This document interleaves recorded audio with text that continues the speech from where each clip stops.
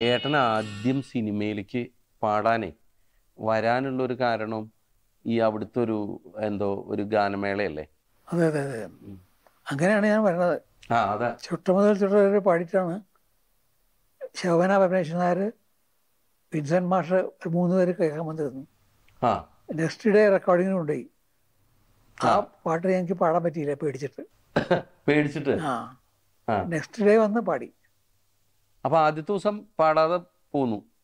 എന്നിട്ട് പിന്നെ ഇവർ വീണ്ടും വന്ന് വിളിക്കുന്നത് എന്നിട്ടാണ് കുഞ്ഞാലി പൂമാല. ആ പ്രേമലതയുടെ അതെ കോഴിക്കോട് പ്രേമലത.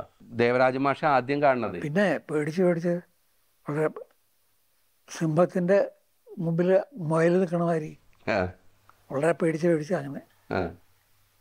പിന്നെ ചോദിച്ചിട്ടുണ്ട് സംഗീതം പഠിച്ചിട്ടുണ്ടോ? ഇല്ല പഠിച്ചിട്ടില്ല. ആ. സംഗീതം പഠിക്കണം. ഒരാളുടെ ഒരാളാക്കി പഠിക്കാൻ പോയില്ലേ പഴയ അങ്ങനെ പറഞ്ഞത് നിന്റെ കാലം ഇതല്ല. ഞാൻ നിനക്ക് സാധകം തന്നു കഴിഞ്ഞാൽ നിന്റെ ശബ്ദം മുഴുവൻ പോവും. അങ്ങനെ അതേ പോവും. ഇതിപ്പോ മെലഡി ഉണ്ട് നിന്റെ വോയിസിൽ യു കണ്ടിന്യൂ ഫിലിം സോങ്സ് ഉണ്ട്.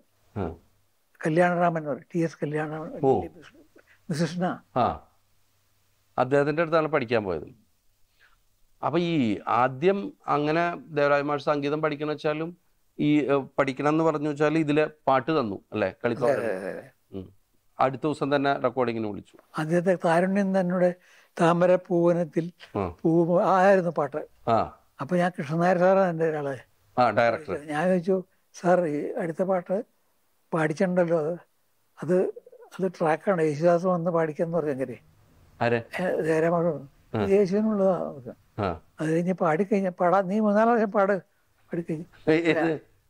ആ പാട്ട് പഞ്ചലയിൽ ആ. അതിന് പ്രഥമ കൃഷ്ണനാര് പറഞ്ഞു ഞാൻ പറഞ്ഞു അത് യേശുദാസ് വെറുതെ പറഞ്ഞാൽ നിന്റെ പാട്ടത് ഞാൻ പാട്ട് ഒരു പാട്ട് കിട്ടി.